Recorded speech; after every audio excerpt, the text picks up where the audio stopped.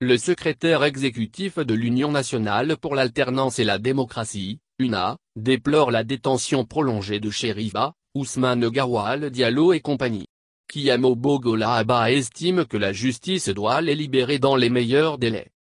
Il assure que le pouvoir Alpha Condé veut maintenir ses opposants en prison pour contraindre l'Union des forces démocratiques de Guinée, UFNG, à venir autour de la table des négociations. La justice devrait purement et simplement les libérer pour délits non constitués à l'image des 30 autres co-détenus dans la même affaire. Ils sont innocents et cela est connu de tous, déclare Kiyamo Bogola En abandonnant les charges initiales retenues contre eux après leur arrestation, les a innocentés d'office.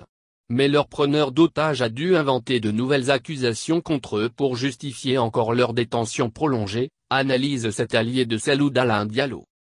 Il se dit plus que jamais convaincu qu'Alpha Condé veut faire de leur libération une monnaie d'échange pour un possible simulacre de monologue en préparation dans le cadre d'un soi-disant cadre permanent de dialogue. Mais cela ne va pas marcher. Nous invitons la justice guinéenne à libérer ces détenus.